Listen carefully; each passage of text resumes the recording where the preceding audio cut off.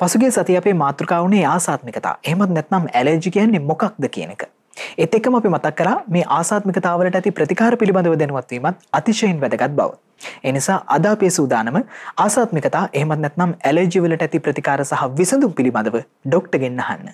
ආසාත්මිකතාවයක් අඳුර ගන්නකොට ගොඩාක් වෙලාවට අපි රෝග ලක්ෂණ මත තමයි යන්නේ ලේ පරීක්ෂණ වගේව කරන්නේ නෑ. ඔබ දන්නවනම් ඔබට යම්කිසි දෙයක් ආසාත්මය කළ උදාහරණයක් වශයෙන් ඔබ දන්නවනම් ඔබට ආහාරයට ගන්න දේවලින් ප්‍රතික්‍රියා එනවා කියලා ඔබ හැම වෙලාවෙම මතක තියාගන්න ඕනේ නැවත එම කිසිම කෑම අනුභව නොකරන්න. මොකද එක පාරක් ඇලජික් රියක්ෂන් එකක් ආපු කෙනෙක්ගේ අපේ ප්‍රතිශක්ති පද්ධතිය මතකයක් රඳා පවතිනවා මේ දේට අපි ඇලජික් කියලා. එතකොට දෙවැනිවර ඒ දේම අපේ ඇඟට ඇතුල්ලුනොත් අර දෙවැනි වරෙන ප්‍රතිශක්ති ක්‍රියාවලිය පළවෙනියකට වඩා තද බලවෙන්න පුළුවන්.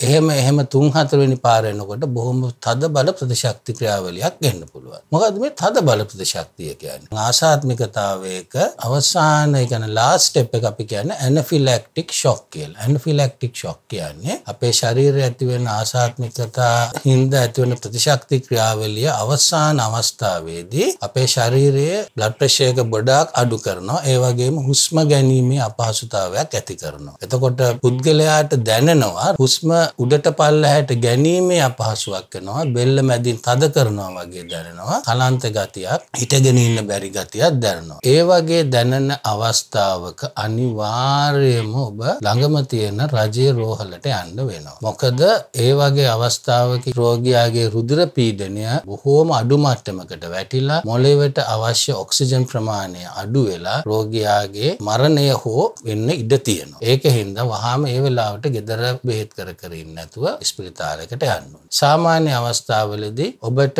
කිම්හුන් යනවා නම් පීනස එනවා නම් ඇදුම තියෙනවා නම් ඒත් ගොඩාක් වෙලාවට මං කිව්වා වගේ ආසාත්මිකතාවයක් හින්දා වෙන්න පුළුවන්. ඒ වගේ වෙලාවල් වලට ඔබේ ගෙදර පුළුවන් තරම් පිරිසිදුව තබා ගැනීම සතියකට සැරයක් ඔබේ කර්ටන්ස් තුවායල් බිම දාන ඇතිරිලි කුෂන් වගේ හොඳට හෝදන එක ගෙදර ඇති කරන සත්තුන්ගෙන් විශේෂම ඇඳ නිදන කාමරයට සහ වැඩිපුර ගැවසෙන තැන්වලට සත්තුන් ළඟා නොකර ගැනීම වගේ දේවල් වලින් ගෙදර දොර පිරිසිදුව තබා ගැනීමෙන් විශේෂම කැරපොත්තන් මැස්සන් මකුණන් වගේ අයගෙන් එන ආසාත්මිකතා අඩු කරගන්න පුළුවන්. ඒ හැර මම කලින් කිව්වා වගේ සමහර ආසාත්මිකතා රෝග තියෙනවා මාස ගණන් සති ගණන් එක දිගට තියෙනවා. ඒවා බරපතල අවස්ථාව වෙන්නේ නැහැ. ඒ වුණාට ඒ රෝග කරදරයි. මොකද හැම වෙලාවෙම පළු දානවා, හැම වෙලාවෙම කසනවා, හැම වෙලාවෙම හෙම්බිරිසා වගේ ඇති වෙනවා. එවැනි අවස්ථාවලදී ඇන්ටිහිස්ටමින් කියන ඖෂධ වර්ගයක් උදාහරණයක් වශයෙන් පිරිටන්, සෙට්‍රිසින් වගේ පොඩි ඖෂධ වර්ගයකින් එම රෝගේ පාලනය කරන්න පුළුවන්. ඒ වගේ අවස්ථාවල එවැනි රෝග තත්ත්වයක් නිට්ටාවට සනීප කරන්න යනවට වඩා රෝගය පාලනය කරගෙන ඉබේම ශරීරයම රෝගය සනීප කරන්න ඉඩදීම වඩා සුදුසුයි.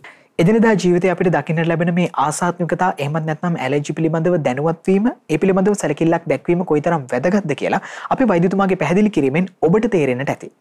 ඉතින් මේ වටින තොරතුරු පිළිබඳව ඔබ දැනුවත් වී ඔබ අවට අය දැනුවත් කරමින් මේ තොරතුරු බෙදා ගැනීම ඔබේ වගකීමක් බව මතක් කරමින් අපි සූදානම් ලබන සතියේත් මේ වගේ වැදගත් සෞඛ්‍ය තොරතුරක් පිළිබඳව ඩොක්ටර්ගෙන් අහන්න. මෙවැනි වැදගත්වුවත් නැරඹීම සඳහා ශ්‍රද්ධා TV නිවස් YouTube චැනලය සබස්ක්‍රයිබ් කර සීනුව සලකුණ වන්න.